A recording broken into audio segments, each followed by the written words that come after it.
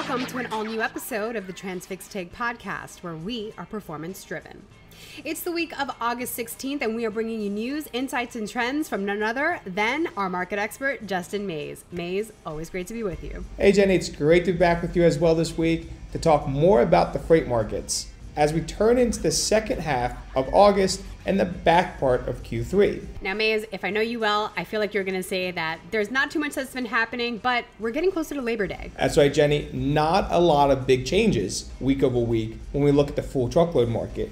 And I may start sounding like a broken record from the last two weeks. That's not to say that there aren't things that are happening in the truckload market. It's just we're going to zero into that, right, Maze? That's right, Jenni. One thing that we haven't really spoke about too much recently is the rising cost of fuel. This week we saw just under a 14 cent increase in the average gallon of diesel fuel week over week. And Jenni, this is a four week increase totaling 57 cents. This is definitely not the news that drivers want to be hearing, as we are still in a very tough environment for smaller carriers. This is definitely going to continue to impact the operating costs in the near future because there are pockets where we are seeing rates move upward, but not making up for the gains in diesel costs. So then, Maze, what do you think is the cause for the rally? Well, Jenni, the reasons for the current rally are mostly twofold.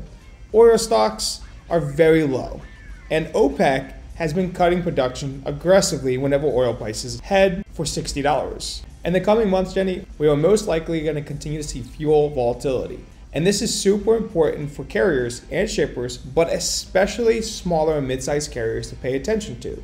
As you know, Jenni, fuel makes up a large portion of operating costs for any power unit. And if fuel is not being considered accurately, then it may cut into your already depressed margins on running a truck, which could put some carriers out of business. And there's a lot of mixed feelings on how the next few months are going to be in the full truckload freight industry. And the next couple of months are going to be insanely critical to the livelihood of a lot of our small carriers, especially owner operators who've really been waiting for the last year or so for the market to flip in their favor. You have some sources, such as the Cass Information Systems, or Cass, calling for a lower for longer freight market. On the other hand, there are plenty of sources calling for the end of the bottoming of the spot market and suggest that we are going to see higher contract rates come in the next few months. Okay, Maze, but my question for you, and it's been a while since we've brought the crystal ball out, but where do you think the market is really going to head in the next few months? Now, Jenni, I think there is plenty of opportunity for the market to shift in either direction or just stay pretty stagnant through the remainder of the year. But we're not going to get into that today. Okay, fair point. That's a tee up for our State of Freight episode with Paul Pojemski coming up in September. We'll give you a deeper dive then. But Maze, what are some callouts you have? Now, Jenni, one thing I definitely want to call out is that volumes are still impressive. Volumes are still higher right now than they have been for the vast majority of 2023.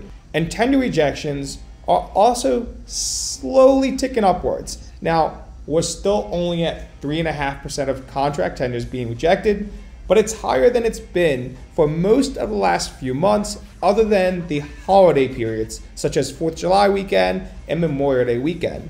Now, if tender rejections continue to rise as we start approaching Labor Day weekend, it could call for higher tender rejections than we've seen since the beginning of the year. Okay, but Maze, do you think that's actually going to happen? I don't believe so, Jenni. I actually think we're going to start seeing tender rejections start to fall, if not stay stagnant, beginning this week, remaining through next week, before seeing an uptick again as we head into the end of the month and Labor Day weekend. What's funny about this Maze is normally you would tie tender rejections and volumes to rates, but it seems like that's a bit disjointed this time. It's actually the opposite right now. Even though tender rejections have been slightly climbing over the last week and volume remains strong and really just slightly picking up some steam, rates have actually fallen. Not surprising. It's also something that you predicted earlier this month. That is right, Jenni. Looking at just line haul, the national average right now is $1.58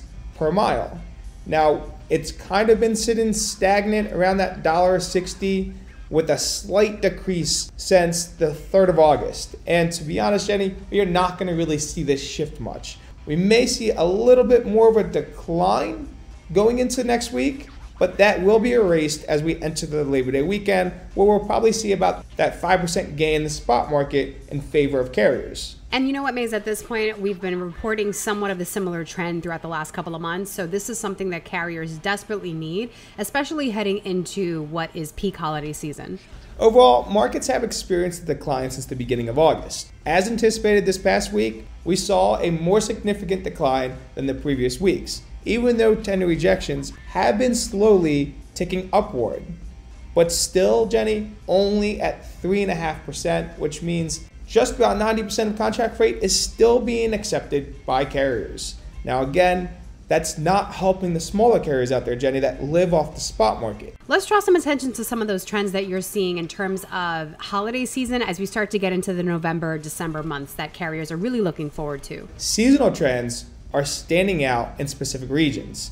It's showing momentum in both ways, with increases in rates in some parts of the country, along with decreases in other parts. We will likely see some upward momentum in overall rates throughout most of the country approaching the Labor Day weekend, which is a normal upward pressure we should expect. Now, the big question is what happens after this final holiday of the summer months as we approach, which is typically a busier month as consumers start spending for the holidays. But like I said, Jenni, a lot of how the rest of the year plays out is going to be tied to the overall broader macroeconomic condition of the United States. Now, keep in mind, in October, student loan payments go back into effect. So that's one factor that could play into less spending, which means less freight being moved throughout the overall markets. But we're going to keep an eye on that and make sure everyone's well informed. One thing that I do want to call out, though, while we're on the subject of consumer spend, is that it did rise by a half percent, just a little bit in June. Those numbers may or may not rise, but some of the more notable spending were financial services and insurance, uh, housing utilities, and recreational services, including uh, motor vehicles and parts. But I will say that that rise was nominal and less than what was originally forecasted. But you know what it's time for? The regional breakdown. Let's talk about the Northeast and the Midwest. As expected, capacity in the Northeast and Midwest is starting to tighten as the average rate increases for freight originating out of these regions. This is a normal seasonal trend that we definitely anticipated driving into the fall, and we will likely continue to see more pressure build in parts of these regions as we head farther into winter months. Now, again, it's not just the Northwest and Midwest the Pacific Northwest is seeing the most seasonality pressure, driving rates up the fastest. Now let's move over to the south and the southeast. I know that we're starting to see more of a decline over there in terms of rates. What are you seeing? Over the following week, rates will continue to decline, but going into the holiday week will probably prevent them from declining too much more. And to be honest, the southeast has already started to see the decline slow down. And let's take a look at one of the more active markets that we've had in the past couple of weeks the West Coast. What are we seeing? Well, Jenni, the West Coast is still a pretty volatile region. Last week I called out that the larger markets in Southern California were still picking up some steam with increases. Well, that's changed. Southern California, the large markets by volume, such as Los Angeles and Ontario, are actually starting to see decreasing rates now. But that does not account for the northern markets, such as Stockton and Fresno.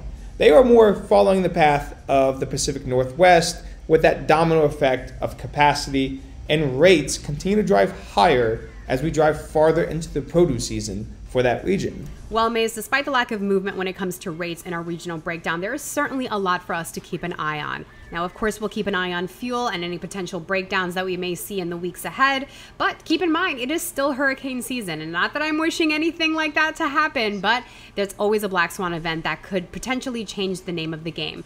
That said, we will see you next week with an all new episode of the Transfix Take podcast. And until then, of course, as always, drive safely.